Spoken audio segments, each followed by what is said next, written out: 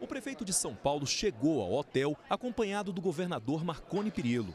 João Dória Júnior, do PSDB, conversou com empresários goianos no Fórum de Gestão Goiás. Durante o almoço oferecido aos empresários, o prefeito de São Paulo e o governador de Goiás assinaram três protocolos de intenção entre o governo do estado e a prefeitura paulista. Um deles voltado à área de gestão e dois na área de saúde. Nós estamos adotando um programa do governo da prefeitura de São Paulo, do Dória, que é o Curujão. Nós vamos, através desse programa, alugar espaços nas clínicas e hospitais privados para a realização de diagnóstico de imagens no período noturno para as famílias e trabalhadores, famílias pobres e trabalhadores. E também estamos fazendo um outro, assinando um outro protocolo em relação ao Conecta SUS, que é uma, um programa muito bem sucedido aqui no estado de Goiás. Depois da palestra com empresários goianos, João Dória Júnior visitou a sede da Record TV Goiás e conheceu as instalações da emissora.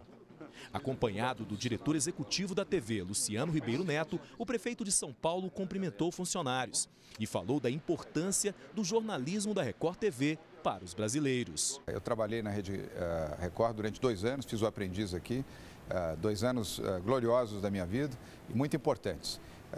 desde que o jornalismo da Record foi se implantando na Record, Record News e também no R7, no portal, qualidade, isenção, presença em todo o país, presença internacional. Nós temos feito, inclusive, visitas ao exterior em busca de investidores em todos os países em que fomos. A Record estava presente. João Dória Júnior também falou sobre redes sociais. O prefeito de São Paulo é um dos políticos mais ativos na internet. Você se comunica com o seu público, o seu eleitor e mesmo aquele que não eh, votou em você.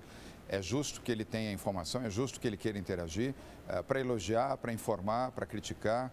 E eu respondo, não consigo responder todos, mas uma parte substancial eu faço resposta. Sobre a chance de se colocar na disputa pela presidência da República, o prefeito de São Paulo falou que só o tempo pode dizer o que vai acontecer. Eu espero que o PSDB possa estar unido cada vez mais e definir uh, entre janeiro e o início do ano, janeiro, fevereiro, uh, qual será o seu candidato à presidência da República e fazer o seu arco de alianças também com os partidos aliados.